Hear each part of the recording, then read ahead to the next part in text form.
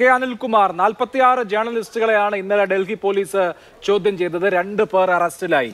ഈ ചോദ്യം ചെയ്യലിന് വിധേയരായ ആളുകളോടൊക്കെ ചോദിച്ചത് ഒരേ സെറ്റ് ഓഫ് ക്വസ്റ്റ്യൻസ് ആണ്. നിങ്ങൾ കർഷക സമരം റിപ്പോർട്ട് ചെയ്തിട്ടുണ്ടോ? നിങ്ങൾ ഡൽഹി കലാപം റിപ്പോർട്ട് ചെയ്തിട്ടുണ്ടോ? നിങ്ങൾ ഷഹീൻ ബാഗിലെ പ്രക്ഷോഭം റിപ്പോർട്ട് ചെയ്തിട്ടുണ്ടോ? നിങ്ങൾ മറ്റ് സർക്കാരിനെതിരെയുള്ള വാർത്തകൾ കവർ ചെയ്യുന്നുണ്ടോ? തുടങ്ങിയ ചോദ്യങ്ങളാണ്. ഇതൊക്കെ ചെയ്യാനാണല്ലോ മാധ്യമ പ്രവർത്തകർ ഇരിക്കുന്നത്. അത് അവരുടെ ജോലിയാണല്ലോ. അവർ പിന്നെ ചോദിക്കുകയാണ് നിങ്ങൾ ഇതൊക്കെ കവർ ചെയ്യുന്നതിന് നിങ്ങൾക്ക് കൂടുതൽ പണം കിട്ടുമോ? എന്തിനാണ് നിങ്ങൾ സർക്കാരിനെതിരെ വാർത്ത ചെയ്യുന്നത്? ഇപ്പോൾ സർക്കാരിനെതിരെ വാർത്ത ചെയ്യുന്നത് എന്തിനാണ് എന്നാണ് ഡൽഹി പോലീസിന് അറിയേണ്ടത്. അതിൽ രണ്ടു പേർ അറസ്റ്റിലായിരിക്കുന്നു. എങ്ങോട്ടാണ് ഈ രാജ്യം പോകുന്നത് എന്ന ഗൗരവതരമായ ചോദ്യം നമ്മുടെ മുൻപിൽ നിൽക്കുകയാണ്. ചാരന്മാർ രാജദ്രോഹികൾ ഭീകരവാദികൾ എന്നൊക്കെ മുദ്രകുത്തി മാധ്യമപ്രവർത്തകരെ ജയിലിലടക്കുകയാണ്.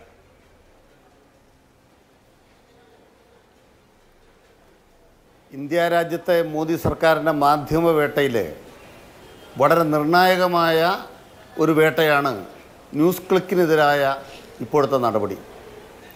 ഇതിനു മുമ്പ് ദൈനിക് ജാഗരണമുണ്ട് അതുപോലെ ടൈംസ് ഓഫ് ഇന്ത്യയുണ്ട്. ബി ബി സി അടക്കമുള്ള നിരവധിയായ മാധ്യമപ്രവർത്തകർക്കെതിരായിട്ട് സ്ഥാപനങ്ങൾക്കെതിരായിട്ട് കടന്നാക്രമണം നടന്നിട്ടുണ്ട്. ബി ബി സിയിൽ റെയ്ഡ് നടന്നിട്ട് എന്താ അവസാനം കിട്ടിയത് എന്നുള്ള കാര്യം നമ്മളിപ്പോൾ മനസ്സിലാക്കിയിട്ടില്ല.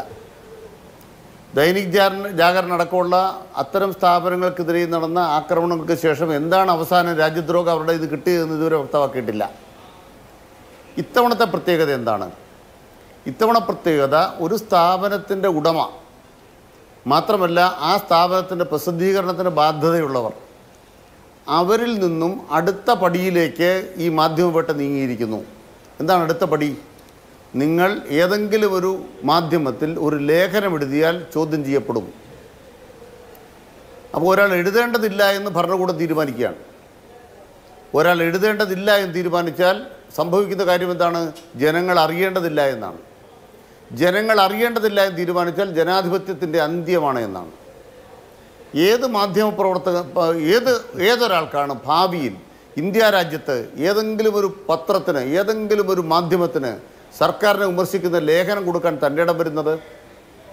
നിങ്ങളൊരു ലേഖനം എഴുതിയിട്ട് അഞ്ച് കൊല്ലക്കാലം കഴിയുമ്പോൾ ഇ ഡിയോ അല്ലെങ്കിൽ എൻഫോഴ്സ്മെന്റ് ഡയറക്ടറേറ്റോ അല്ലെങ്കിൽ മറ്റേതെങ്കിലും ഏജൻസികളോ നിങ്ങളുടെ വീട്ടിൽ കയറി ലാപ്ടോപ്പ് കൊണ്ടുപോവാണ് എന്ത് ന്യായം?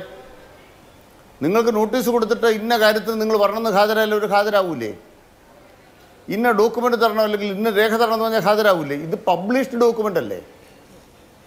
ഇവിടെ പ്രബീർ പൂർഗായസ്ത എന്ന് പറയുന്ന മഹനീയനായ നേതാവ് അദ്ദേഹം ഒരു കൊല്ലം അടിയന്തരാവസ്ഥക്കാലത്ത് ജയിലിൽ കിടന്നയാളാണ് സി പി ഐ എമ്മിന്റെ അംഗമാണ്. ജനകീയ ശാസ്ത്ര പ്രസ്ഥാനത്തിന്റെ അഖിലേന്ത്യാ നേതാവാണ്.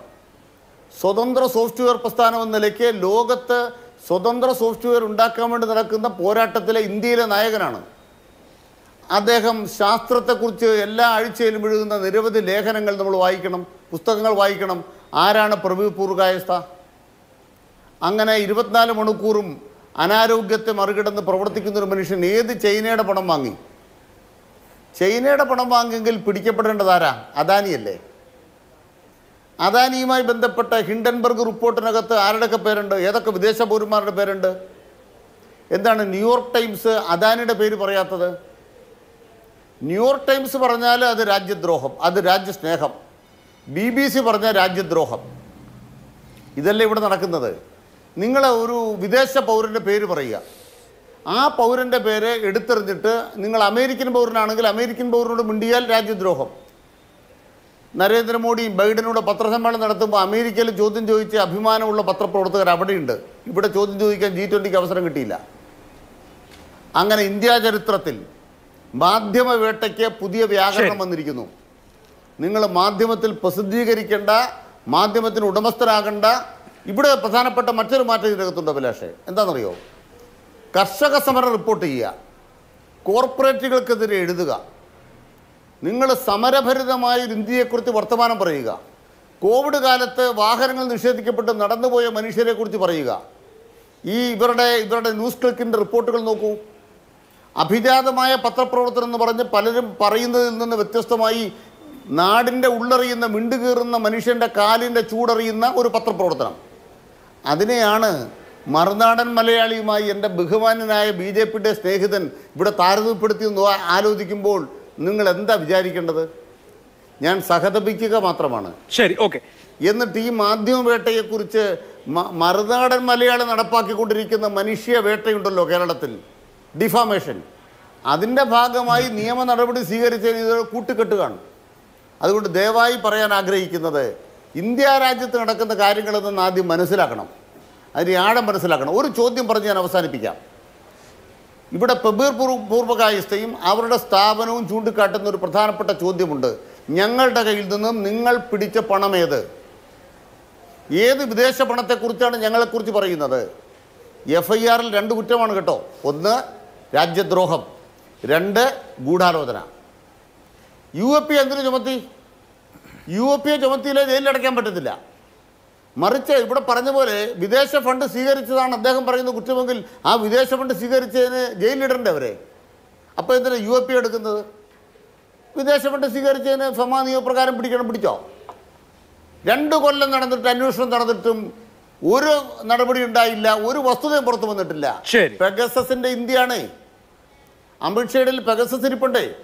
പിടിച്ച സാധനങ്ങൾക്കകത്ത് ഫോറിൻ വിവരങ്ങൾ ഇൻ- ഇൻ- ഇൻ- ഇൻക്ലൂഡ് ചെയ്യാൻ തക്കവണ്ണമുള്ള ആധുനിക ടെക്നോളജി കൈകാര്യം ചെയ്യുന്ന പെഗസസ് സ്വന്തമാക്കിയ ഇന്ത്യ രാജ്യത്തെ ഏറ്റവും മൂർച്ചയേറിയ ഒരു ഭരണകൂടത്തിന്റെ കൈവശമാണ് ഇന്ത്യ രാജ്യത്തിന്റെ പത്രസ്വാതന്ത്ര്യം ഞെരിഞ്ഞമരുന്നത് മാധ്യമ പ്രവർത്തനം. അമരുന്നത് ഇന്ത്യൻ ഭരണഘടനയും ഇന്ത്യ രാജ്യത്തിന്റെ അഭിപ്രായ സ്വാതന്ത്ര്യമാണ് ഞെരിഞ്ഞമരുന്നത്